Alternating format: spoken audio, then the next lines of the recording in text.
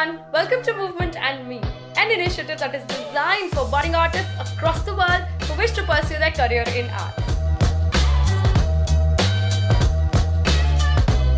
I'm your host Niharika, and on this show you will hear artists talk about their lives and the choices they had to make in pursuit of arts. We will also get to use some tips and key learnings from the lives of these artists, along with a detailed discussion on their areas of interest. So quickly hop onto a journey into the world of arts along with us.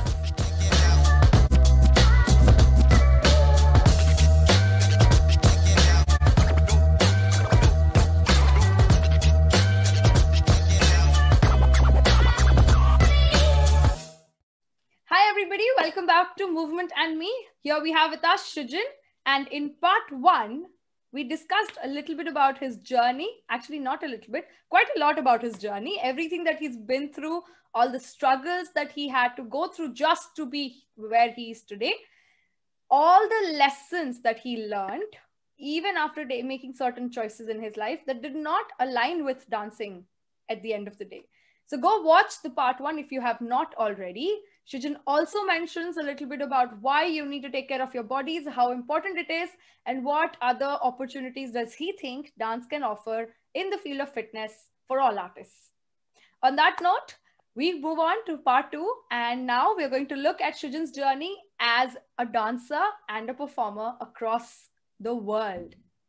So my first question to you, Shijin, is that you have been a, you have been a dancer and a performer, and also you participated in international and national competitions, right?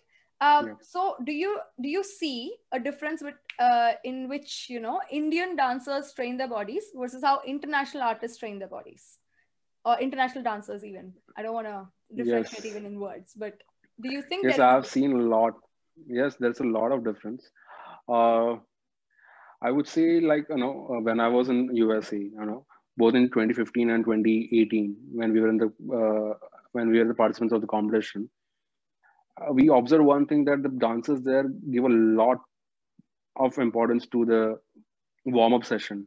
Okay, whenever uh, they had the call time, you know, whenever they were asked to, you know, uh, like uh, call for the stage. Okay, so they used to start warming up like one hour before and we were like we were just sitting there you know waiting for a call time. And whenever we are whenever you had a call time at that time we used to go to stage without being warmed up. We used to do some small exercises those kind of stuff. But those people there like they you know actually gave it a lot more you know importance to their fitness level the, the warm-up procedure. Because i guess their training has been done in that way. You know their mentors the teachers have made them realize the importance of you know uh, warm-up. And that is how they stayed fit. We could see those fitness you know levels in their body. And uh, when it comes to india like i'm not i don't know about others but there are few people you know who don't give that much importance to warm up. And like whenever they are asked to dance they will just start dancing without going undergoing those exercises. Uh, so yeah when I say a difference, there's a, actually a huge difference because there are people dedicatedly, you know, uh, work on their body, their mindset. They actually uh, have different methods in approaching, even in warm up, like in exercising, all this kind of like how they do it in dancing. Similarly, they do it in their exercises, their warm up sessions as well. And I've seen that, and I actually got to learn a lot many things from there as well. And uh, they have actually uh, it has been an inspiration for me as well you know to give that much importance to my body you know before taking up the dance classes or before taking the uh, conducting your training too. And yeah so that is one difference this is one difference i have observed. And uh, in terms of dancing also uh, i would say dancing there is very much you know uh, considered on that level. Okay. And like I mentioned in uh, part one of the session, that I haven't seen that kind of thing here in India till now. Because even if you uh, hear the dancers are like considered like you know, to come karega kya, free mein karega kya, like still you know uh, even for IDALS, okay, where I'm providing them at a very affordable fee, still people are asking sir free mein class milega kya. I don't understand the concept of free classes till now. Like you know, why can't you consider an artist same as that of any other service providers. At least dancers are also are, are also doing their job. They are actually putting lot lot of efforts in you know preparing a choreography for you, you know, training themselves, and they are teaching the same thing to you all. So why can't you respect that and you know consider uh, of that level and you know pay in return to them instead of asking it every time for free and free. In USA, you won't sing not in even in USA, but in other parts of the countries as well.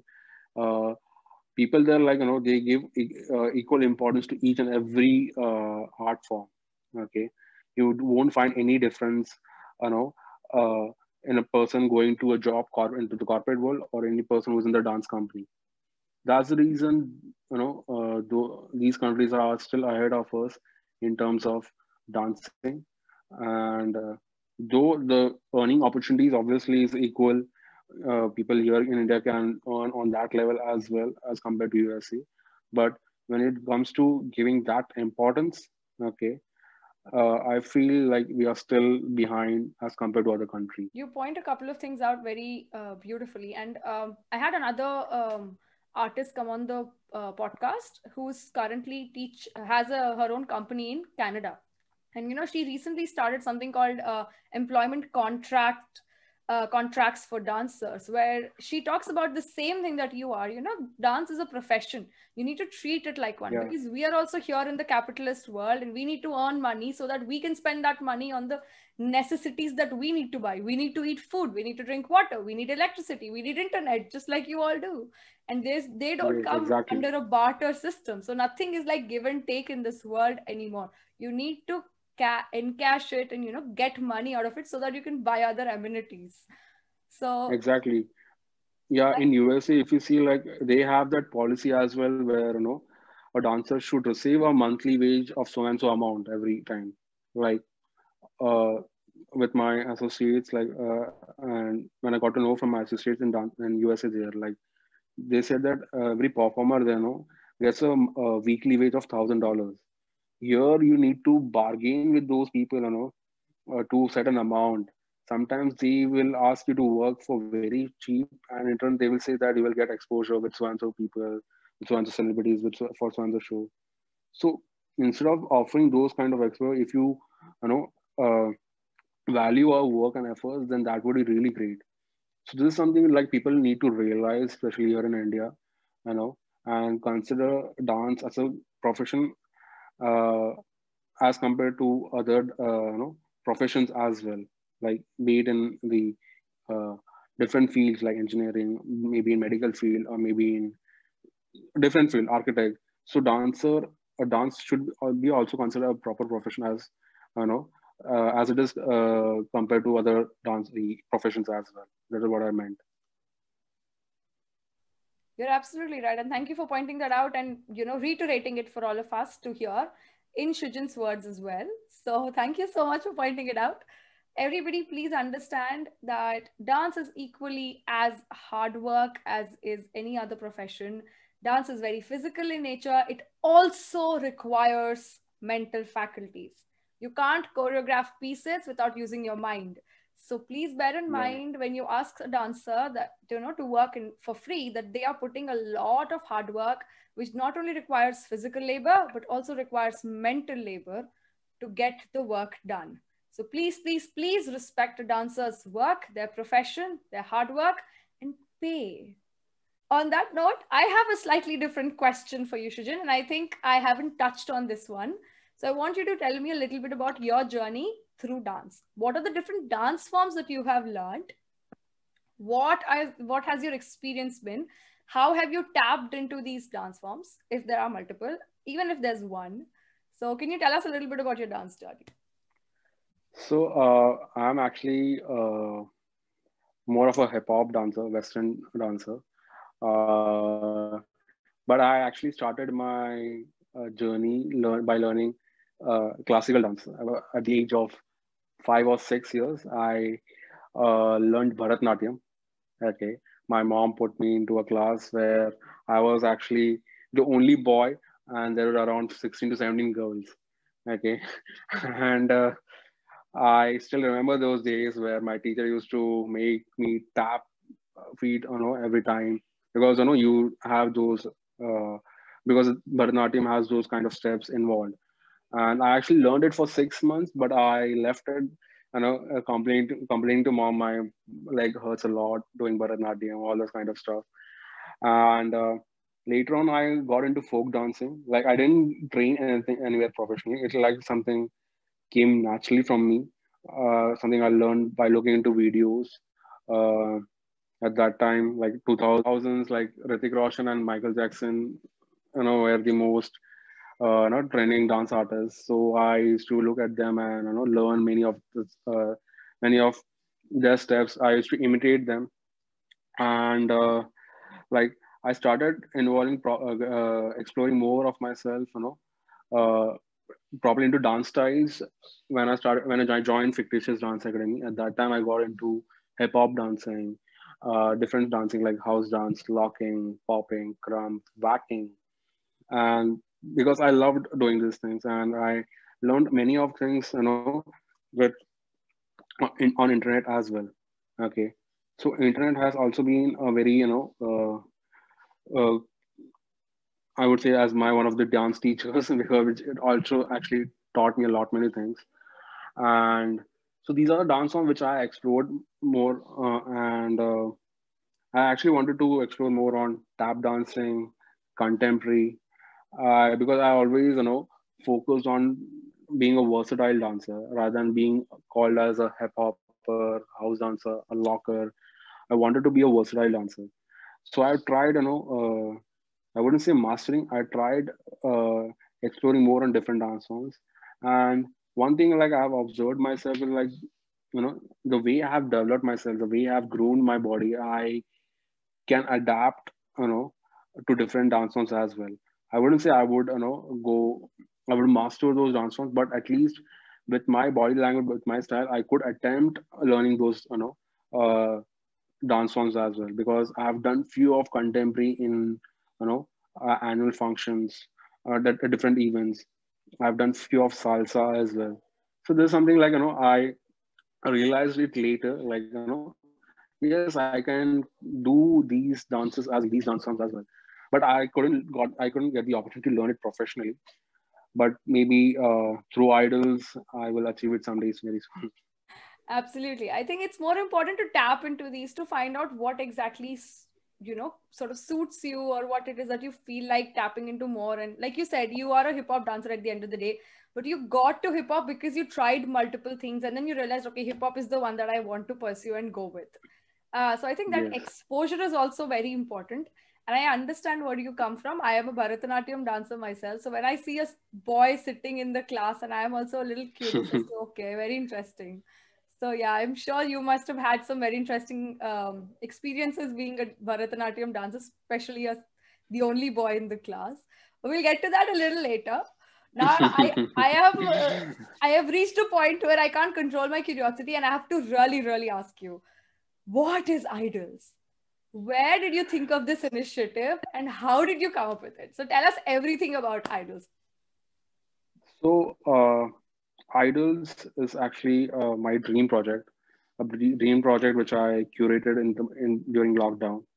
Uh, before lockdown, I, I had never had this you know idea of coming up with this platform. It is during lockdown, you know, I got to uh, come up with this initiative because uh, as I said, I've trained many students, and in lockdown, I started receiving DMs, messages from my students like, "So, what is the future of dance?" Okay, considering the current situation of COVID and everything, I, uh, you know, I started receiving multiple messages. Okay, they started asking me, "Sir, dance ka future kya hai? Corona to kill kar diya hai dance ka future." So all those kind of stuff. So that is when I, you know. Uh, like realize I need to come up with something, you know, new which will uh, be adaptable from future perspective as well. So I opted out from the traditional method of training, which I used to do physically by going to classes, and I switched completely to digital platform because lockdown has also made us realize the importance of digital. Like you know, with the evolving, with the continuous evolvement of technology, uh, we are you know uh, getting those things features you know available. And technology obviously is meant to make our lives easier you know. And with technology like we are able to get connected to multiple people not just here in india but around the world. So that is how i came up with this initiative of because i didn't want to you know uh, leave my passion and get back into my corporate world again you know. I thought of like whatever savings i had done i completely invested in my project okay just I've done it with uh, for my passion for the people who want to learn dance and that too from the best people of our country. Okay, so I wanted to make dance accessible to each and everyone and provided in the same way uh, the way they used to learn in their offline classes. Okay, so IDALS is a completely uh, professionally built, I would say, online dance training platform. Okay, where I'm providing them quality training by the best instructors of the country. And the main advantage of my platform, main USP, I would say, is that I have those advanced features which they makes their learning process very simple and easy. Like if you say, uh, they, if you want to learn from front angle, they can learn it from front angle. If they want to learn it from back angle, they can learn it from back angle as well. Like getting the same experience as if they're learning in an offline class. And then there is a feature of mirror view as well. Then speed control, they can you know slow the tutorial this they can slow the class to learn the steps slowly each and everything. And one important feature which i implemented here is self view so self view is like if you have a selfie camera or webcam okay then your screen gets when you enable it then your screen gets divided into half.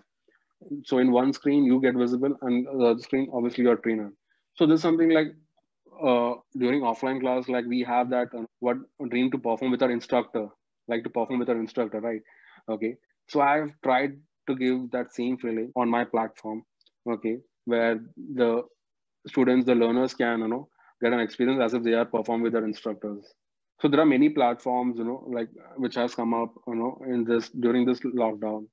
Uh, in US, or the Steezy is one of the, you know, oldest uh, platform which has been operational for the past six years. Here in India, there's Web Studio, and mine like I came up with this initiative, you know, of providing quality dance training to all the dance learners from the best people of our country, and making dance learning very accessible at very affordable. So yeah, the more you talk about it, the more excited I get. So you did mention a couple of these on the uh, when we last spoke the last time, and I was very curious to know more about it. Um, so there's something very interesting that you pointed out that I want people to know more about. So you have the choice to dance with the dancer or the two tutor that you get to have for that particular dance form. So any artist, any dancer that you think you're learning from, you can dance alongside them, but just turning your selfie camera on. Does IDALS yes. have a website, Shijin? Yes, obviously we have a yes. website, theidols.com. So that I can tell everybody you will get the links in the description box. Please go look it up, enroll yourself, and enjoy learning dance at the comfort of your homes in the best exactly. way that Shijin has provided you with. You're adding something. Because now, yeah, because now uh, I wouldn't uh, know, say like offline is, you know, is uh, fading away. No, though both are equally important. But looking at the future perspective, like digital is the future now like things which we can do like offline is also achievable offline uh, sorry is also achievable online as well with the use of technology digital technology. So and here like you are getting to experience just quality classes at a very affordable fee. So i guess people should start making use of this you know making at starting advantage of these platforms. And uh, you know uh, like uh, share it with the people who actually want to learn dance from the best people. Mm. and somewhere they are not able to achieve those things but through these platforms they can easily learn from their favorite instructors. Right. Absolutely. I think that just makes it fun and exciting because you can learn it at 10 in the night if that's what's comfortable for you or at 7 in the morning if you're a morning person. So pick a time find what's comfortable what works for you and then just enjoy it and then learn because now you don't have to exactly. run for one and a half hour looking for a dance class that is closest to your home but rather just save up on that commute So yeah, and main advantage, like you mentioned, you know, there's no particular time at which you want to learn. Like it's up completely right. up to you, like at your free time. And the other thing is like, you know, whenever you have any doubts in class, okay, sometimes in offline, what happens when your trainer is not available? At that time, our doubts, you know, you know, like it uh, stays in pending, okay. But through our online class, the people can go and see again and again, like what was the doubt, and they can clear it at that moment only. And uh, most importantly, like the features as shared, you know, uh, also the mo- one thing which i mentioned i want to mention is like uh, like i focus really on the talent development okay on the development of each uh, every user so i also ensure to call them take you know uh, help them uh, training uh, planning their training on our website. It's not like they have uh, paid subscription. They can choose whatever class they want. So uh, depending on their uh, skill set level okay if they are beginner intermediate advanced i guide them properly to which all classes they need to attend okay which all classes they can attend as per their as per their experience as well. So that one-on-one feedback goes continuously from my end as well to all the subscribed users on our platform. Wow. So personalized learning on top of everything else. I think you've just made us and given us a complete package where we can go and learn and train ourselves from the country's best dancers. So thank you so much, Shijin, for creating such a great uh, platform for us. I hope that all of the investment that you've made comes back in return and helps you create Hopefully. and further work on this platform and make it even more engaging for the audience members. Definitely. I hope to grow as much as I can and come up with something new, more different things, you know, uh, more different methods where I can simplify the training process I want to introduce more and different dance forms as well, get associated with more and more trainers. Right. And hopefully it will happen gradually. And till then, let's, I hope to be consistent and just work hard. That's it. Absolutely. Thank you, Shijin. On that note, I have my final question of this interview for you. And this is the question that everybody seems to wait for the most. So, what do you have in terms of um, any advice that you would like to give the upcoming artists in the field of dance? Any advice that you would like to give them? So, uh, I would advise them to be consistent. Okay, first of all, uh, never lose hope. Okay, just uh, keep working hard. You know, be determined in achieving your goals every time. And uh, one important thing which I would advise them is like practice smartly you know practice carefully there is uh, there are two different concepts i follow like active and passive way of practicing passive is where you just uh, you know practice the way you have been taught in your class. You just don't explore your mind your creativity in it. Active learning is where when you start exploring yourself as well. Like when you start learning with whatever things you have learned in your class you also put in your creativity your efforts to see what different i can try with this. Because that is really important in order to develop your own style or your own body language in executing those things. Okay so this is what i would like to advise you know people uh, like who are you know uh, looking to make a career in dance find that one particular niche like and you know work on that niche and come up with your own style in dancing so that people start recognizing you and make use of technology. Make try to take advantage of this technology. Try to take advantage advantage of the digital platform because these all here things are here to help you grow and you know uh, give you exposure so try to take advantage of the digital platform especially which is being on a uh, which has been boomed in the past seven to eight months due to covid and uh, it will actually help you connect with a lot many people around the world okay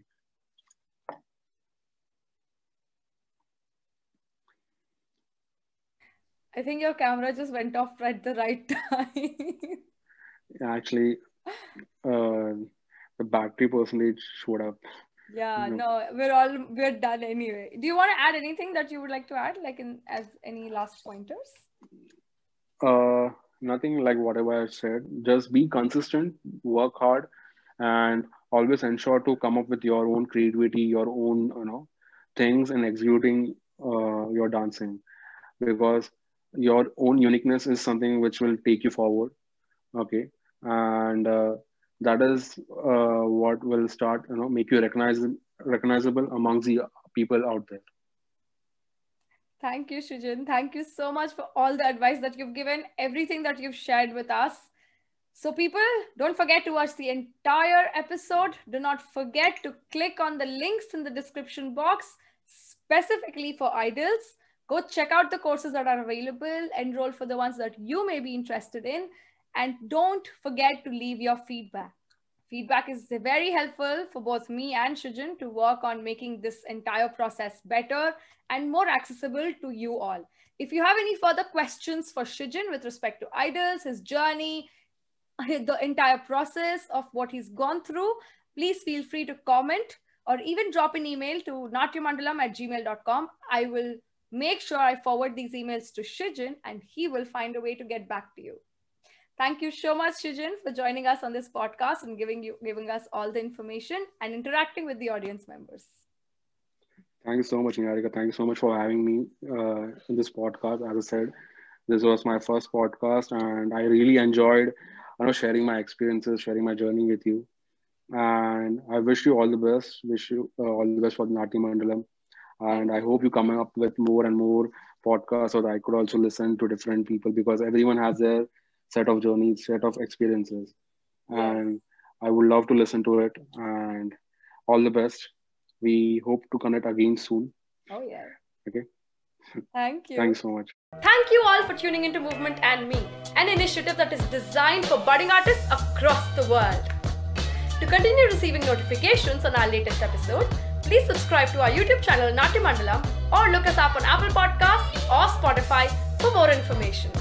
I'm your host Niharika, and I'll see you all next time.